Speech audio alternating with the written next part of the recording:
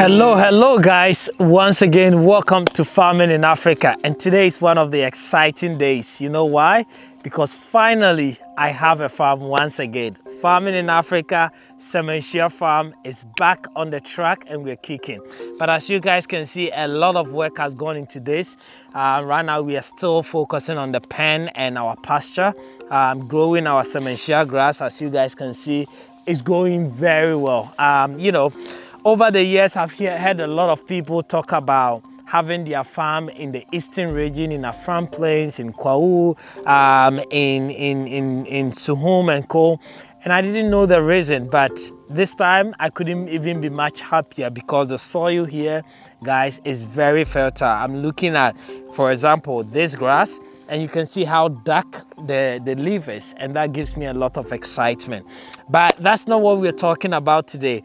Today I'm standing at the new Semanhyia Learning and Development Farm and you guys know the story behind this farm, um, the fact that we were asked to leave Berekum and you know we had to sell majority of our goats, keeping very small, which is going to be our base that we're going to build on.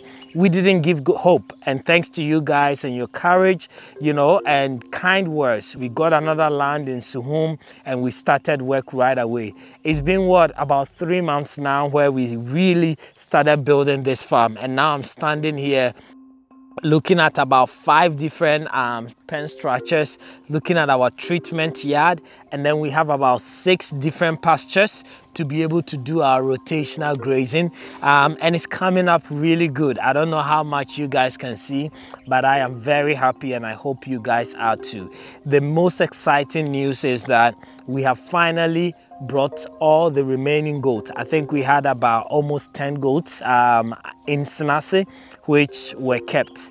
We have finally just moved all of them. They just arrived here and it has actually made the farm looks more vibrant. It's life now. It was very different when we were just building and now having goats here is just amazing. Um, you know, I am somebody who do not dwell on the negative. Um, obviously, this incident has cost us a lot.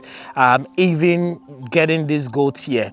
The crazy thing is that a week even before we were transporting these goats, two of them gave birth. One gave birth to three kids. The other one gave birth to two kids, right? Transporting such a young babies here all comes with a lot of challenges and so on. But the positive note is that we have goats here in Suhum now at our farm and it's just the beginning. It's a very small beginning. Come along with me. Let's go and check some of the goals that we have here. It is definitely a small beginning, but we have done this. And this means that now we can start bringing the goats in. This is the most important thing. The land, the infrastructure. I think that was what really hurt me is the fact that I will have to rebuild this whole thing again. But as I said, thanks to most of you guys that have been so encouraging to us, you know, your kind words, your support, anything that you've done, um, I really appreciate it. And I think um, it has gotten us this far. And this farm, to be honest with you, it's much more beautiful than the farm that we had in Senase. So I'm very, very happy with it. This treatment center, as I've said over and over, this is where we are really going to be practicing the artificial insemination. So basically this center that you see here is probably going to be roofed tomorrow. It's going to be where the AI and treatment of the goats is going to happen whilst we have this pasture as well. Come along. I mean, I can't stop talking about the Sementia grass. It has rained maybe three times here and it's just doing so amazing. I don't know if you guys can see this, but this is just, just amazing. I don't know if you have planted yours or not, but the rainy season has started. And if you haven't, what are you waiting for? We started this farm and the first thing we did was to start planting this, you know, and this is almost two months now and it's doing really, really well. Um, but yeah, come along, let's take a look at what kind of goats do we have here and how are they doing? Come on in.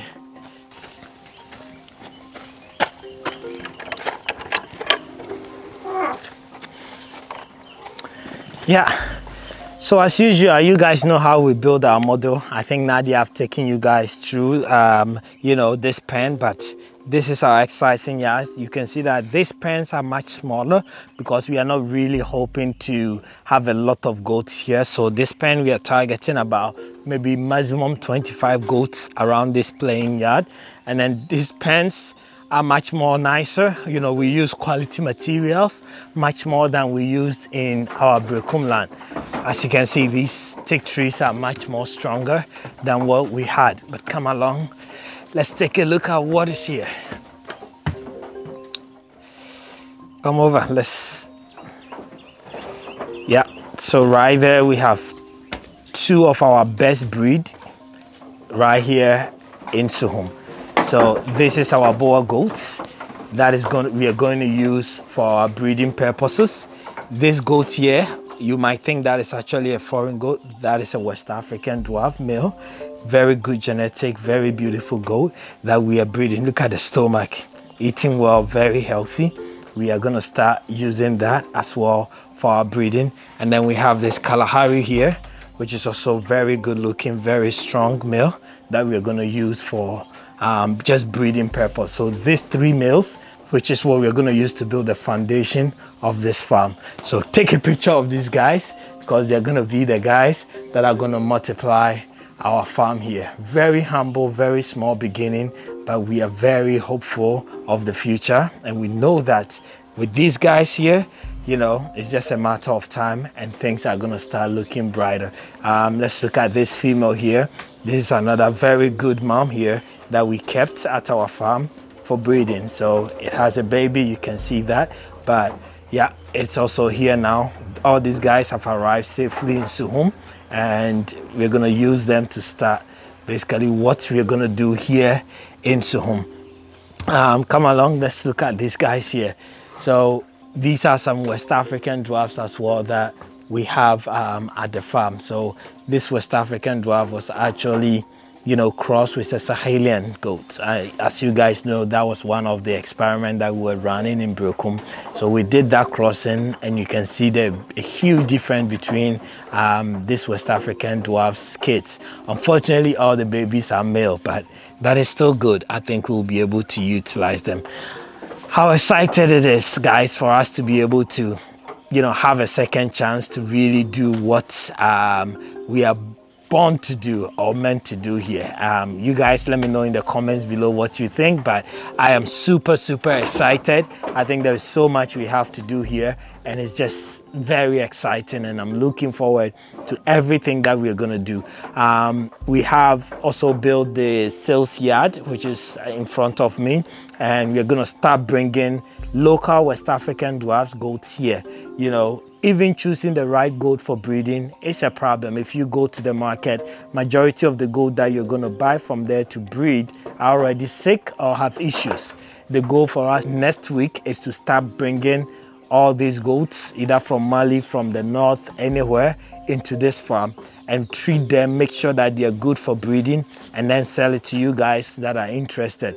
So if you're interested in a West African goat, a Sahelian goat for breeding, from next week going, we'll have maybe about 60 goats here that we can actually, you can come here, select your choice and use it for breeding, where we have kept them for a certain amount of time to really treat them before we even hand them over to you. A lot of amazing things happening here, but I'm very excited about what this farm is going to mean and the impact it's going to make in the livestock industry here in Ghana. And I hope you guys um, have buckled up because it's going to be a long ride. The sky is definitely the limit. Thank you for watching this video and I hope that we'll continue bringing you more updates as we increase the size of our goats um, numbers here in Suhum. But the exciting news is we are back in business and we'll continue to bring you more updates on how that is going. Thank you and I'll see you again in the next video.